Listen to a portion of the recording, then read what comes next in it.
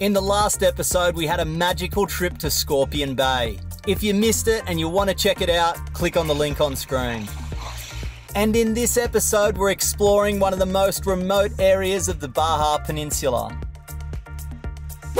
This is it, pretty much the main street in our Scorpion Bay. Uh, we just picked up some fuel uh, straight out of the can, you know, nothing fancy here. And we're heading to. So it's about a two day trip for us. It'll be a two day drive uh, with a stop in between. We won't be driving at night. I'm not sure where we're going to stop yet. We really haven't had much internet, so we haven't been able to secure a, uh, a town where we want to stop and provision. But once we get into some reception, we'll sort it out.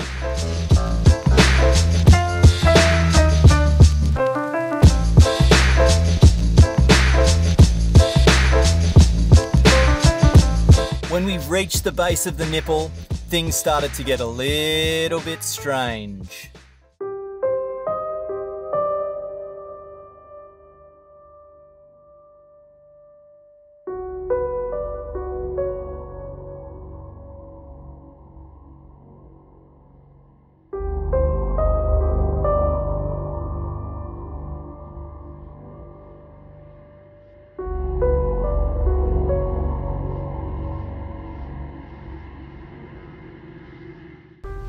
So we've got kind of lost. Uh, we've been following what we thought was the federal one, uh, and we've gone through this crazy little ghost town, and then it just turned into a dirt road. We found a, a police officer in town, and he told us to go like 20 kilometers back in the other direction to get back onto the highway, and we started heading back out of town and, and looked at the maps, and we were still on the highway.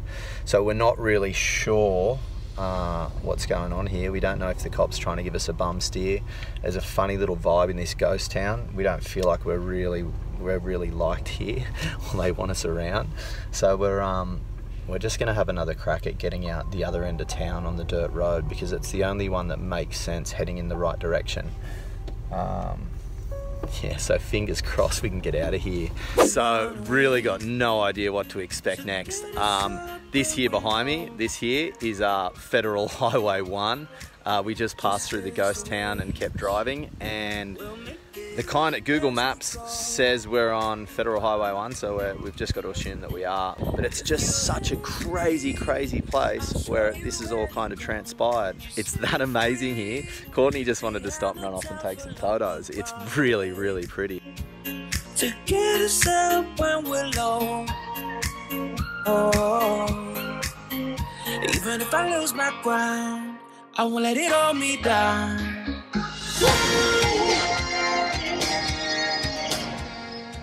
After a quick explore of the hidden oasis, we tried our luck again on Federal Highway 1. What way, Joe boy? All right, scissors, paper, rock. If I win, we go left. If you win, we go right. Are you ready? Steady. Yep, I win. We're going to go left.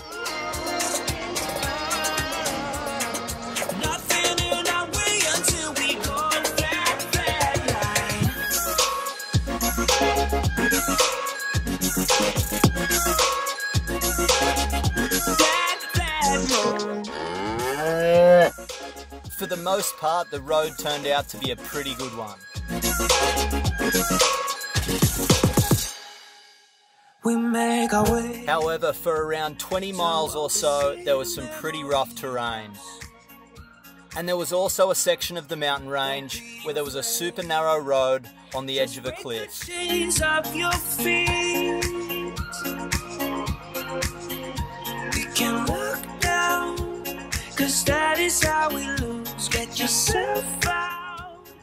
It was a fun day spent off road, but we couldn't wait to get back onto the smooth stuff.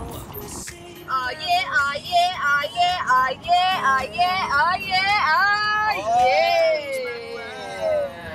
yeah. After a two hour detour to replace our second busted air compressor and a little line dancing, we found ourselves a pretty sketchy camp spot.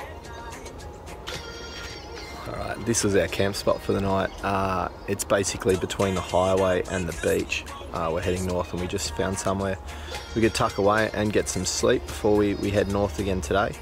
And uh, we had a knock on the van for the first time and uh, It was a bit sketchy, eh? Courtney and I, we were inside and we heard a, a car pull up, and it, and there's there's nothing else around, so we knew something must have been up. So we've heard a car pull up, and uh, Courtney shit herself, and I was, I was a bit worried myself, to be honest.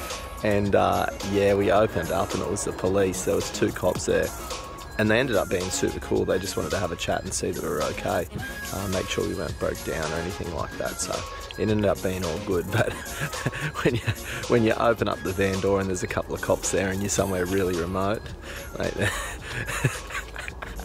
me testes shrunk right up, and I think they might have even slipped back inside me for a bit. After a quick brekkie and a cafe grande, we were back on the road heading north.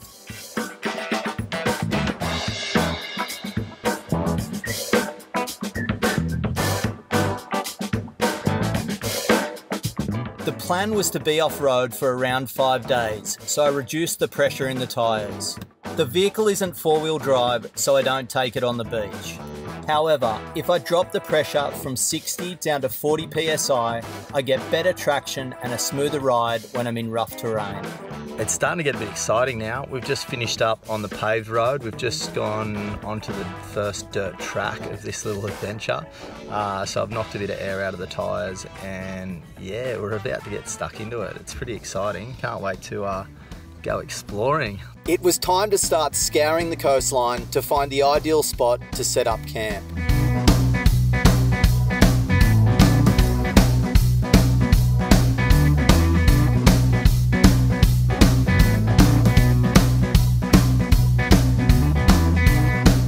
We were still on the hunt for the ideal location, but it started getting dark, so we found a spot for the night.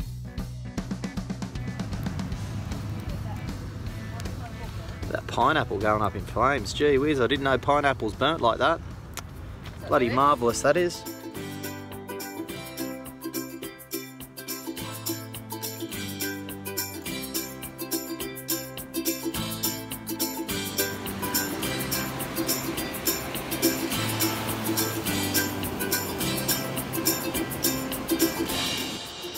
So I don't really know what to do. I'm so excited to be going to our next spot.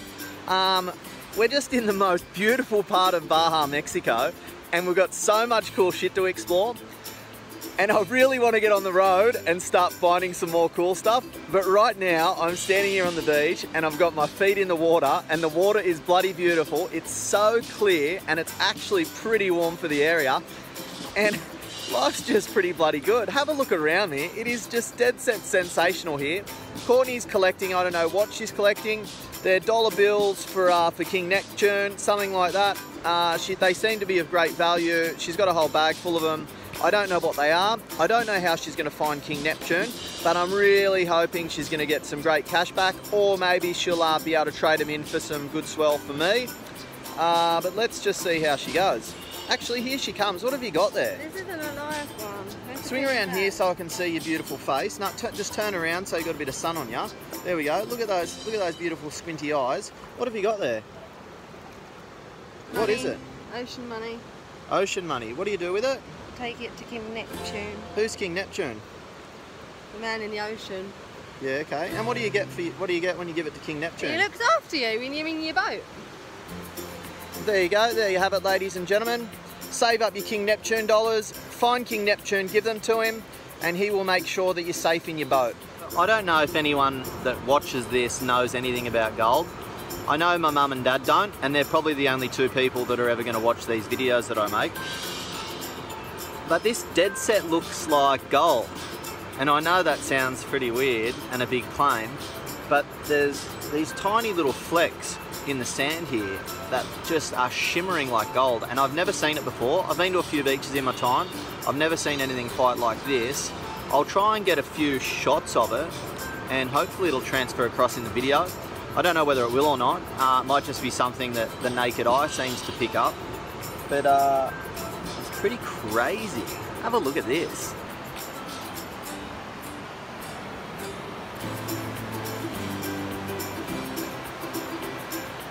See, we might be somewhere lovely, but life isn't always ideal. Because this one here, she's grumpy today. What are you grumpy for? See, mate, she's just grumpy, and this is what I have to deal with. You know, I'm in this beautiful place. Look at this location. It's absolutely spectacular here. There's no one around, sun shining, there's not a cloud in the sky. even.